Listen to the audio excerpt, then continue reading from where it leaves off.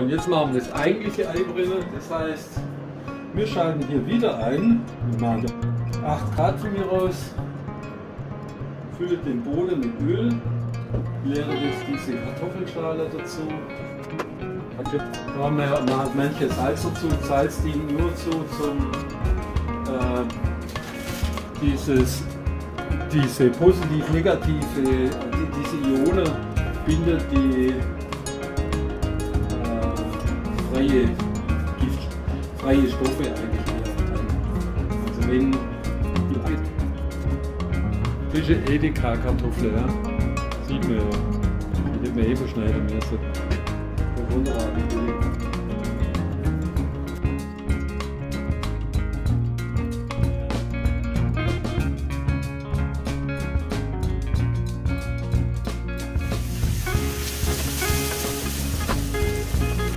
bis auf 9 hochschalten.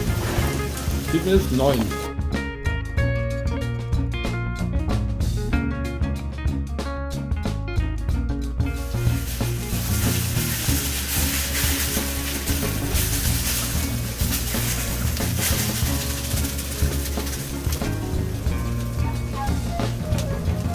Messen mal zwischen der Temperatur 260 Grad. Das ist ja die ganze Öl drin. Einfach mal die Öl drin.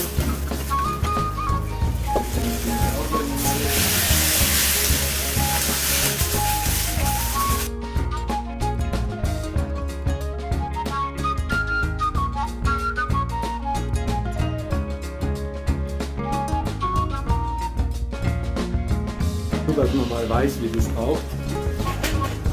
Das raucht nicht so ganz schön ordentlich. Vielleicht sieht man es da. Richtige Rauchentwicklung. Autsch, das heißt. Und man sieht ja jetzt schon eigentlich, das hätte ja bei einer normalen Pfanne wäre das schon längst angebrannt. Also, wir sind jetzt bei der Temperatur von 300 Grad.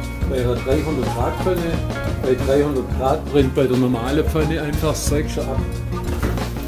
Gar keine Chance. Diese Rauchentwicklung ist wie gesagt dieses Öl jetzt, was das so heiß daherkommt. Cool.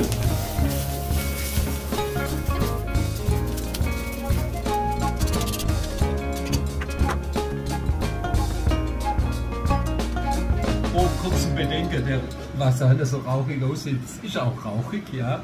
Also, äh, wenn jetzt hier einen Rauchmelder hättest, dann wäre, hätte er schon längst Bergschlage.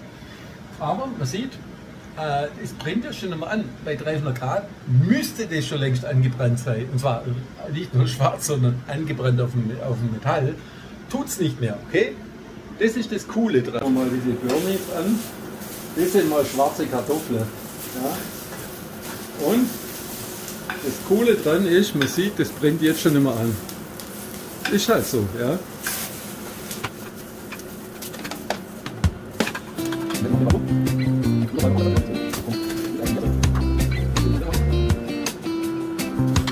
Bei den Ceranplatten müsst ihr aufpassen, ne, aber bei den Glasplatten müsst ihr aufpassen, dass sie nicht springen, wenn die so hohe Temperaturdifferenzen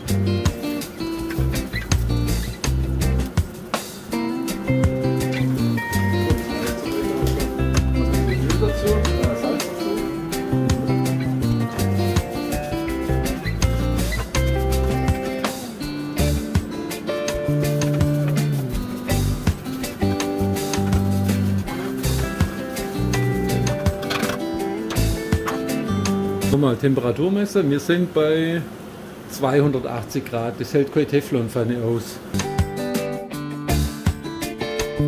Also jetzt nur so als kleine Vorfreude, sie bringt ja nicht mehr an. Das ist doch das mega coole. Zumindest kannst du also Sachen wie in dieser Metallpfanne Fleisch oder Kartoffeln, solche Dinge locker machen, weil, mal kurz angeschaut, das hier, das hat jetzt ungefähr 300 Grad.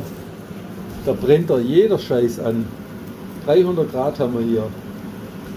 Da brennt dir alles ein, was du auch immer irgendwo in der Küche hast. Das muss jetzt nur noch raus da. auswischen mit Wasser, mit Wasser auswischen, Tuch nehmen, mit Wasser auswischen und dann hat man die beste Pfanne, die es gibt, okay? Äh, mit einfacher Sache hergestellt. Recycling. Trau dich was in deiner Experimentierküche. So machen wir das Kind jetzt aus. Kommt raus. So sieht es halt dampfig aus jetzt. Bevor ich das jetzt wegleere, so sieht es in der Sonne aus. Nichts angebrannt.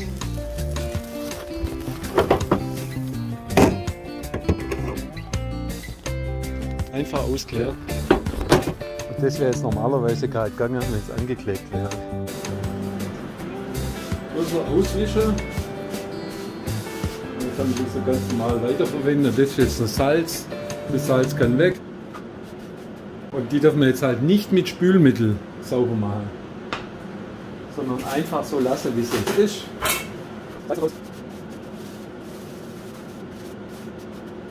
Somit ist das jetzt die beste Pfanne. Das ist Öl übrigens. Äh, Öl und Stärke oder verbrannte äh, Stärkereste, Ölreste kann man dann auch mit einem kleines bisschen Öl wieder einreiben. Aber das eher dünner. Dann macht man es jetzt so, dass man die ein kleines bisschen einreibt und dann drinnen lässt. Warum macht man das so? Das macht man deshalb so, damit